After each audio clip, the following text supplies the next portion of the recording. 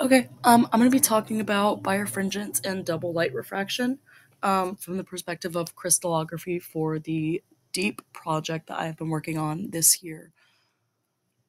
So the first couple of pictures that I have just show how light passes through this calcite crystal. Um, so this was my original working model from the first semester. Um, there's a light source. I used a laser with a LED pen attached to it. Um, so the calcium carbonate crystal has a specialized structure that allows for light to be split essentially um, as it passes through. So we can kind of see down here in the bottom left corner, um, the light from the laser passes through on one end and comes out as a couple different beams of light on the other end. In this case, I was able to have um, four different beams of light coming out of of the bottom end of the crystal. Um, this image sort of demonstrates the birefringent properties of the crystal the best.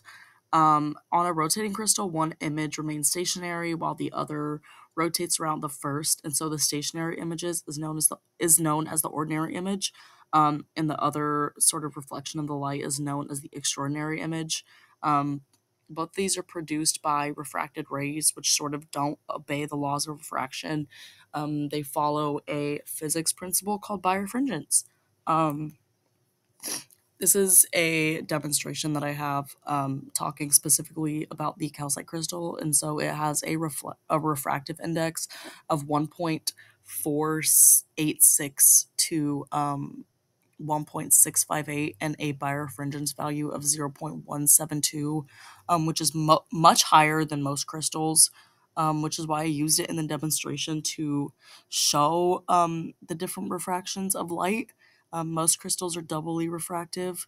Um, however, there are some pretty well known crystals that are singularly, singularly refractive, like diamonds. Um, this is the second part of my project. So I had this beam splitter cube, um, courtesy of one of the physics labs, and it has pretty much the same properties as the calcite crystal. So light passes through on one end, and the beam splitter splits the light, and so it is traveling in the direction that the light is polarized and a perpendicular direction. Um, I have a couple videos here that demonstrated as well um, I think I'm just gonna talk over this. So I have um, this light, this light source. Um, I'm shining through the calcite crystal um, just as sort of a live demonstration. You can see multiple beams of light coming out of the calcite crystal. Um, let's see. Okay. Here's another video that I have. This is a piece of, this is a polarized lens um, it is polarized in the same direction as the laser that I'm using. And so when you start to turn the laser beam or you start to turn the lens and the light becomes polarized in the opposite direction, um, you can sort of see the light start to disappear. You can see the light become a lot dimmer as it passes through um, this polarized lens. Very interesting part of the portion, part of the project. Let's see. Okay. Here's a sort of better example of the polarized lens, and you can see how the light pretty much disappears um, as it comes through because they are being the the light beam from the laser is being polarized in the, the opposite direction as the as the polarizing lens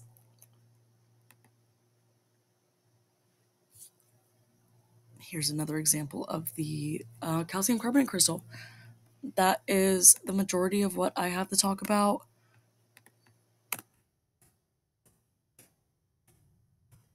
Let's see if I can go back. Um, yeah, uh, there are two parts of this project. The first um, involves the calcite crystal. The second involves this beam splitter, um, sort of just to demonstrate the way that uh, these these this this optics physics can be used in actual practical um, activities. So they use these beam splitters um, and things like scopes um, to help stabilize the light. They use them especially in World War II um, and use this same optics technology in their aircrafts. Um, yeah, the calcium carbonate crystal has has these natural properties. Uh, I was able to do a lot of research on birefringent properties of different um, calcite crystals and other sorts of geologic crystals, just looking at the the crystalline structure of different rocks and minerals.